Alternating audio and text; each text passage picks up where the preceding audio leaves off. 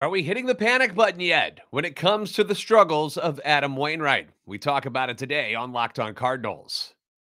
You are Locked On Cardinals, your daily St. Louis Cardinals podcast, part of the Locked On Podcast Network. Your team every day.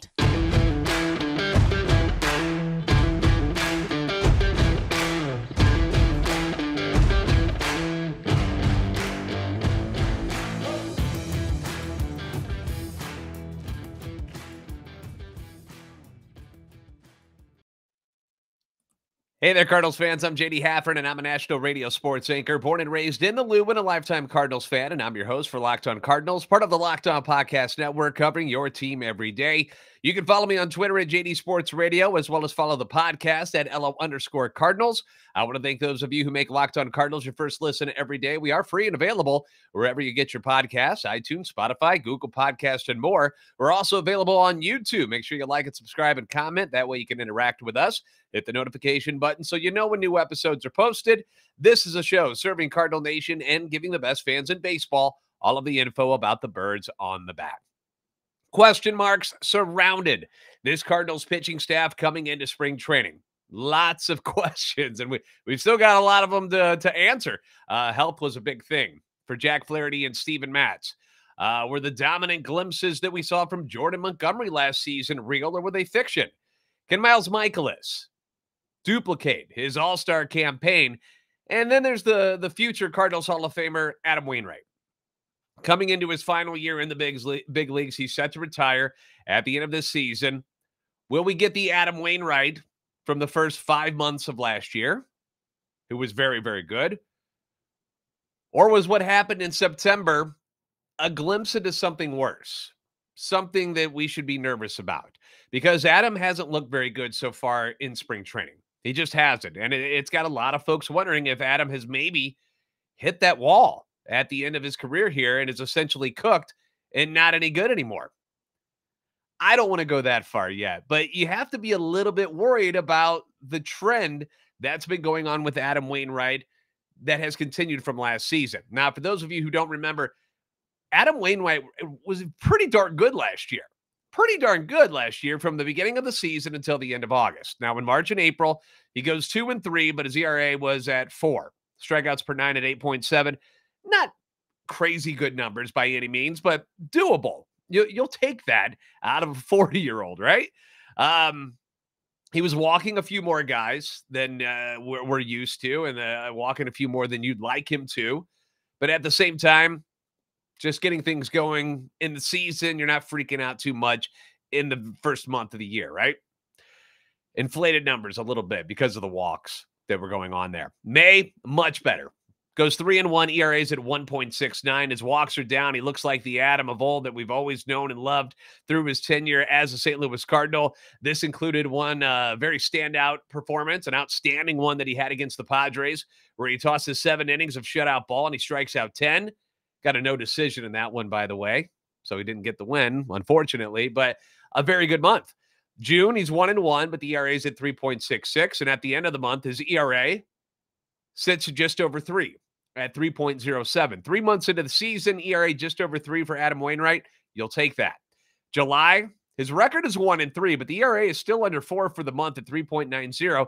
And he had one really bad outing at Cincinnati, which kind of blew things up a bit. And he has struggled at Great American Ballpark in Cincinnati his entire career. Historically, has not pitched well there. Can I implore you, Oli Marmol, to not start Adam Wainwright at Great American Ballpark this year? Don't let it happen. No matter how much he begs and kicks and fusses, don't let him do it. It's just not a good idea. Thank you. But in that game when he uh, pitched against Cincinnati on the road, gave up seven runs and five and a third. He was also saddled with a tough loss that month against Philly, where he threw a nine inning complete game, but he lost that game two to nothing. So at the end of the July, he's seven and eight. He's got an ERA of 3.28, which is more than acceptable. 3.28, you're going to take that. And the record is whatever. It's the record. I mean, just because our guys don't hit sometimes during his starts doesn't mean uh, he should be punished by looking at a seven and eight record and being disappointed. Now, August, he has an awesome month. He goes two and one, two and one, but his ERA is at 2.50. And in this month, he had another really ugly outing, which It happens to pitchers. It seems to bite Adam a lot more here later in his career, where he'll throw four or five games and then one game he just stinks. It just happens to him. But uh, that game was against the Yankees in August, where he got ripped for six earned over four innings. But in his other five starts in August, he throws seven shutout innings against the Cubs, goes nine innings against Milwaukee, allowing just one run, but the Cardinals lose that game three to two.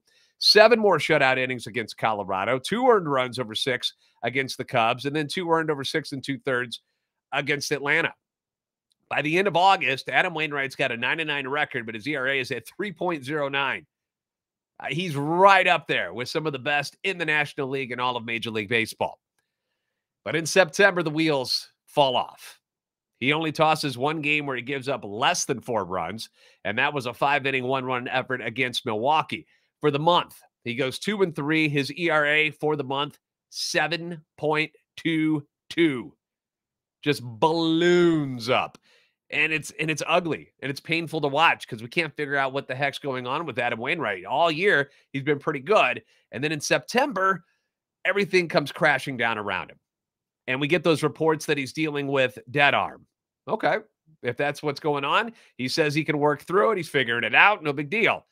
Um, then the season comes to an end, sadly, for the Cardinals very quickly. Adam doesn't pitch in the uh, postseason. And after the season's done, he posts on social media that it wasn't, in fact, dead arm that he was dealing with, but figured out it was some mechanical issues in his delivery, which led to his poor performance. Okay. Overall, a solid year, kind of like Mikolas's, where the record doesn't really reflect how well he actually pitched, but he finished 11 and 12, ERA 3.71 but you don't remember much of the good stuff because that whole last month was so bad. It was so bad. And none of us could figure out what was going on. Adam Wainwright couldn't figure out what was going on. They didn't get it fixed in time, and he didn't get to pitch in the postseason. And you just have that lasting image of him coming off the field with Pujols and Molina after having another bad outing and it was sad to see. You were hoping that you know they all three could go out in a blaze of glory and have this amazing performance together. You know, Pujols ends his career with a base hit. So does Yadier Molina, but the last thing we saw from Adam Wainwright was a bad outing. And you don't want that. You know, that leaves a bad taste in your mouth. So now we go into spring training this year, and we're hopeful that whatever flaws Wayno was dealing with at the end of last year, they've been ironed out and he seems like he's ready to rock. He's in great spirits coming into camp. He's excited to pitch for Team USA at the World Baseball Classic. And we think all is right in the world. We expect the same old Wayno when things get going here. But in his first spring outing, he gives up one run on three hits and two winnings against Washington. First outing, right? No big deal. We'll, we'll be fine. Yesterday, Thursday, three runs on five hits in three innings. Uh oh. Eyebrows raised a tad there they're also hitting the ball really, really hard off of him. Like we're talking 104 off the bat, like just just line shots all over the outfield. But again, it's spring training.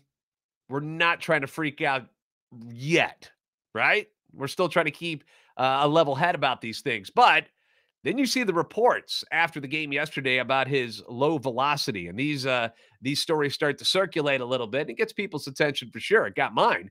Uh, Derrick Goold from STLtoday.com reported that Wainwright's average velocity last season was 88.6. Okay, he's not Nolan Ryan. We know that he never has been.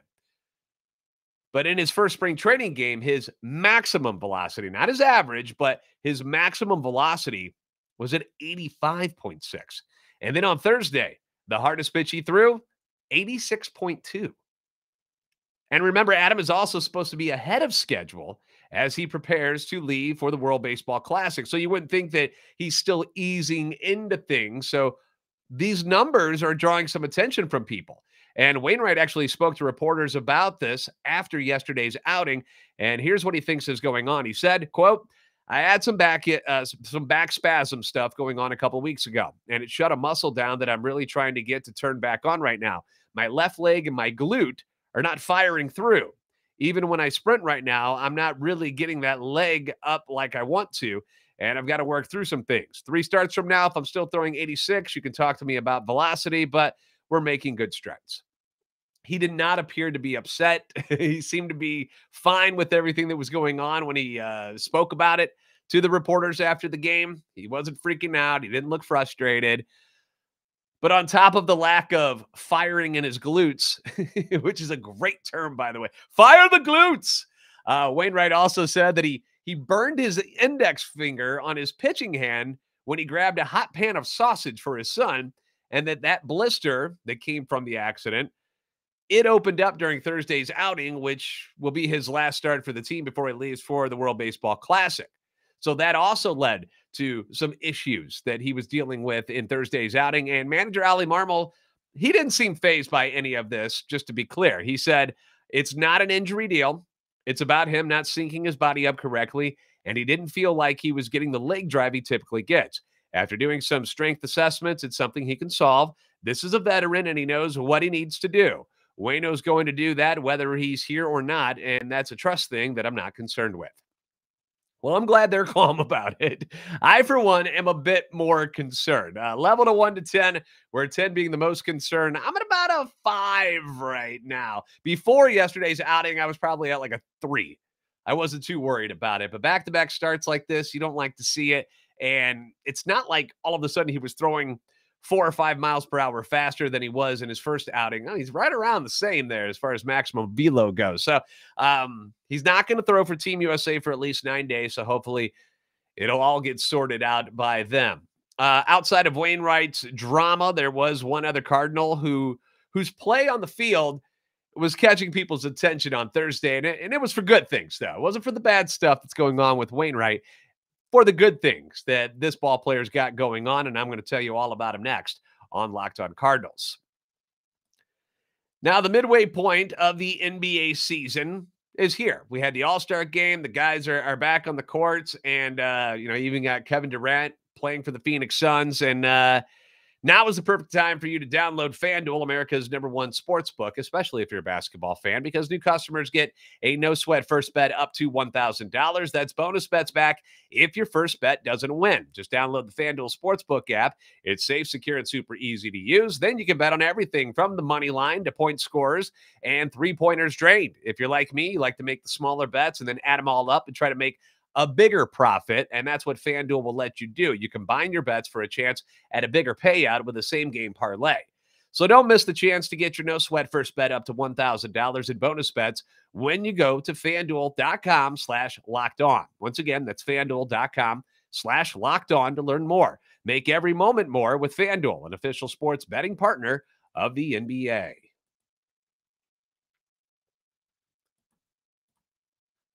So far this spring, we've got a nice look at some of the top prospects in the organization. Pitching wise, we've seen Tink Hence, Gordon Graceffo, and Matthew Liberatore throw some some nice outings, some nice innings so far. Offensively, Jordan Walker has clearly passed the eye test and then some with his performance so far. Uh, Moises Gomez has really looked good at the plate this far, uh, so far in spring training as well. But another name that's really been buzzing around camp is uh, the name of shortstop prospect Masyn Winn, who continues to dazzle in different ways each game that he's a part of.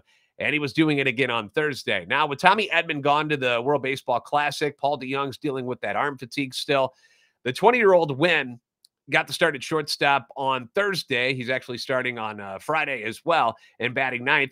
But on Thursday, he goes one for two on the day, steals his second stolen base of the spring, but as great as that was, most people aren't talking about what he did offensively on Thursday, but what he did defensively and the play that he made in the top of the sixth inning, where he goes to his left up the middle, slides into the dirt, right, right behind the second base bag, grabs the ball, pops up, throws the ball over to first base. And he doesn't just throw it, it is an absolute seed over to first base, clocked at 99.9 miles per hour. That's fast. That's a cannon. And so far this spring, not just his arm is show is is doing, you know, the headlines right now. I mean, he's he's doing everything right, guys. Uh, this spring, he's hitting 571. He's four for seven. He's got two runs scored. He's got a ribby. He's got two stolen bases, all while playing solid defense at shortstops, not fumbling. He looks he looks the part. He really does. I mean, he's showing off the skill set that has him ranked as the number two prospect in the organization behind Jordan Walker and has him ranked at number 50 overall, according to MLB.com's prospect rankings. Although he's not in the top 10 out of shortstops, which a little strange, but there's a good crop of shortstops out there right now. Uh, John Denton from MLB.com got a quote from Winn on the throw in this game saying, I tried to get it over there as quick as I could. I wasn't trying to throw it hard or anything. I haven't really gotten to show off my arm strength to these guys yet, so that was cool. So let me get this straight. So, not trying to throw it hard, he throws it almost 100 miles per hour. Just a little flick of the wrist. Is that all that was from Masyn Winn over to first base? I mean, my goodness. That is, I mean, God given talent. What are you going to do, man? 100 miles per hour over to first base, and he wasn't even trying to throw it hard. I wonder what I wonder what he could get. You know how like when you would go to a, a carnival or something and you're like go to the to the, the where they, they see how hard you can throw. And I know it's kind of tough because you don't get to loosen up. You're just out there and I wonder what Masyn Winn can throw. Like if he put his whole body into it and just decided to just let it rip, I wonder how high he could get. Because if if hundred is that easy to him, I mean, crazy. Crazy to think about. Uh, some other takeaways from Thursday's loss Jake Woodford's appearance. He did give up a solo home run, but he also struck out five over three innings, and it was the only hit he gave up. I feel bad for Jake Woodford because it feels like he's earned a spot, but we don't know where to put him. Is he, I guess, long relief? Do you want to, I guess, middle? I mean, whose spot is he taking? Like, I, I feel bad for him because all he's done is produce when he when he gets to play. So I, you got to. I mean, talent will they'll find a place to put him. But at the same time, it's almost as if he's earned more than he's going to get because there's just not enough spots. Uh, Jordan Hicks struggles again. One run on three hits in one inning of work. He did strike out two. And uh, I can say this at least he didn't walk a guy. He, he hit a guy, but he did walk a guy after handing out three free passes his last outing. But hasn't been a good spring for Jordan Hicks yet either. One and two thirds innings, three runs, four hits. He's walked three, hit a guy, has struck out two. His ERA is at 16.20. So still a lot of work to be done there before opening day. Uh, Jojo Romero got in yesterday. No runs, one hit, walked two, struck out two in one inning of work as he tries to uh, be one of those left-handers out of the bullpen this year for Oli. Uh, Wilking Rodriguez, the uh, Rule 5 guy that people have been talking about, he gave up a solo blast in his lone inning of work. He did strike out a guy. Offensively, there wasn't much to, to write home about. They got shut down, only three hits on the day. Goldie Arenado and Masyn Winn uh, were the only guys who got singles after hammering the ball the last couple of days. Uh, the guys are back at it today against the Marlins, who are starting Johnny Cueto again. Uh, Jordan Walker leading off today. You got to remember he homered off of uh, Cueto in their first meeting, so we'll see what happens there. Uh, Tyler O'Neill DHing. Goldschmidt was set to play first base and bat third, but he got scratched, so Juan Yepez will be at first base instead. No reason was given uh, for the Goldie scratch, but uh, according to tweets that I saw online, it doesn't appear to be anything injury related. Uh, Nolan Arenado's at third, Burleson in right field, moderate second base. Andrew Knizner is catching. Uh, Mercado in center field. Masyn Winn gets the start again at shortstop, and Miles Mikolas is on the bump today. Uh, we did get some not so great news on Jack Flaherty. I know. We're going to tell you about it next here on Locked On Cardinals.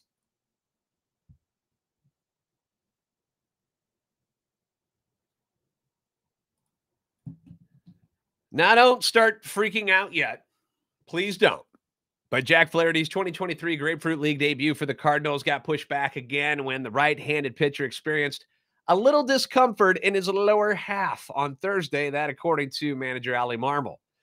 Uh, Flaherty was originally scheduled to throw a bullpen session on Thursday, but that's now been scheduled for Friday, which is today. That um, caused his start to get moved back a day. Flaherty's first spring outing is now slated for Sunday when the Cardinals host the Mets. Connor Thomas, the Arizona Fall League Pitcher of the Year, will get his second start for the Cardinals on Saturday in West Palm Beach against the Washington Nationals again. Uh, rather than start the Cardinals' February 27th spring training game against the Mets, Flaherty instead threw two innings at approximately 40 pitches in a simulated game on a backfield at Roger Dean Stadium. Uh, Marmol said on Thursday that Flaherty's discomfort was mild and that the pitcher would have worked through it had the squad been in the regular season. All I can say is strap in, boys and girls. The Flaherty 2023 roller coaster has begun. And just like the Screaming Eagle at Six Flags, it's sure to make you feel some discomfort in your lower areas throughout the year. Oh man, Jack Flaherty already dealing with some discomfort. Gosh, They need him. They need him. Stay healthy, Jack. Stay healthy. Uh, thanks for making Locked On Cardinals your first listen. Now, for your second listen, check out Locked On Fantasy Baseball. You can win your league by listening to Matt and Dom every day as they bring you the best fantasy draft strategies. Find Locked On Fantasy Baseball wherever you get your podcasts and on YouTube, part of the Locked On Podcast Network, your team every day. Once again, please give us follow on Twitter at JD Sports Radio and at LO underscore Cardinals. Like and subscribe on YouTube. We're trying to reach that 5,000 subscriber goal by opening day. Uh, we continue to rise, but if you haven't subscribed yet, we'd appreciate if you hit that little button down there on the bottom there on the YouTube page. You're the best fans in baseball for a reason, and I'll see you next time on Locked On Cardinals.